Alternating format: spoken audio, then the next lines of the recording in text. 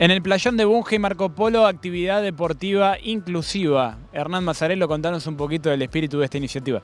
Bueno, en el día de hoy, como las condiciones no estaban dadas eh, precisamente para hacer la actividad en la playa, eh, por el viento sur que había, bueno, se, se empezó a hacer la actividad en este playón, acá en Bunge y Marco Polo. Y bueno, la idea es esa, ofrecerle a la gente un espacio deportivo inclusivo donde puedan traer a sus hijos y puedan estar pasando un buen momento y quien te dice a lo mejor sacar alguno de los de las futuras promesas de Pinamar para en este caso para el surf. ¿Qué características tiene el deporte inclusivo? La característica principal que tiene es que lo pueden eh, practicar al mismo tiempo personas con y personas sin discapacidad.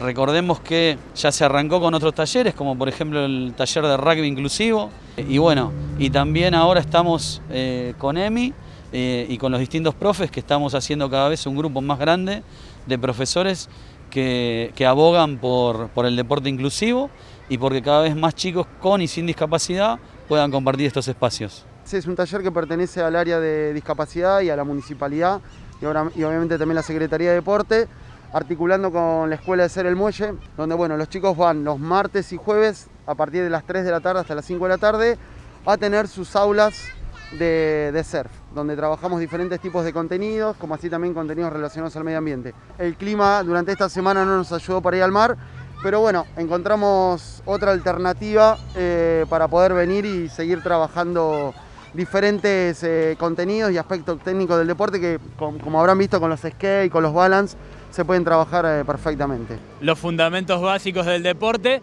se practican en tierra, luego cuando los chicos están un poquito mejor entrenados ya pueden hacer sus primeros pasos en el agua, digamos. Exactamente, es como hacer una transferencia, se llaman entrenamientos en seco donde transferimos lo que se hace en este tipo de actividades en seco hacia la parte del agua, porque como sabrán, el, el, a veces parado en una tabla estamos muy pocos segundos, entonces hay muchas cosas que no las podemos corregir en poco tiempo, entonces todos estos tipos de trabajos en seco sirven para, para poder ir corrigiendo esas pequeñas cositas. Bueno, es muy importante el mensaje que se está dando y también es muy importante la presencia de Zoe Giannini, atleta de selección que compitió el año pasado en el Mundial de Surf.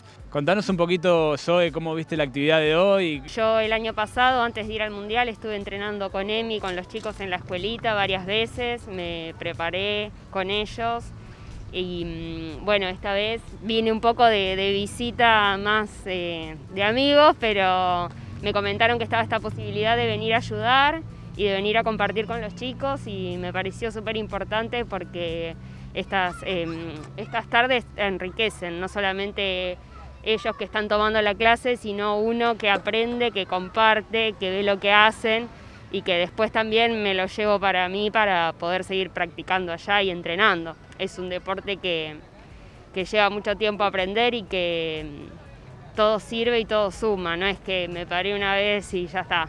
Yo eh, el surf lo quise practicar desde que tenía 12 años y realmente no tenía las condiciones económicas para poder hacerlo. Entonces, bueno, quedó pendiente y gracias a que existen estos espacios y, gente como los chicos, como el Chiri, que hacen eh, las cosas gratis de corazón y te brindan el espacio y te enseñan y así fue que yo me pude acercar, gracias también a una clínica. Entonces me parecía importante que si yo eh, pude arrancar así y teniendo ese espacio, también participar de estas clínicas y estar presente es súper importante.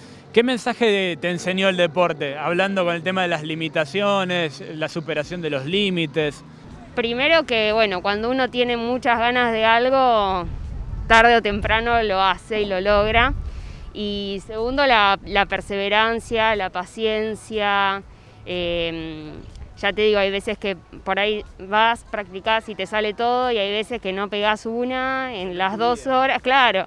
Y bueno, eso también hace que uno eh, aprenda a, a, respetar sus tiempos, sus procesos y también a no bajar los brazos y a no, a no frustrarse a la primera que no sale. Yo creo que el deporte es eso, también forja mucho la, la personalidad. Contanos María, ¿cómo viste la actividad de hoy? Me, me, me gustó mucho. ¿Qué fue lo que más te gustó? Sobre aprender de, de, skate. ¿Aprendiste a andar en skate? Sí. ¿No te caíste? No, es la primera vez que lo hago. y, y, y nunca he sido muy buena. ¿Cómo anduvieron los profes? Muy bien. ¿Buena onda? Sí, buena onda. ¿Vas a volver a la segunda clase? Sí. Ah, y una cosa.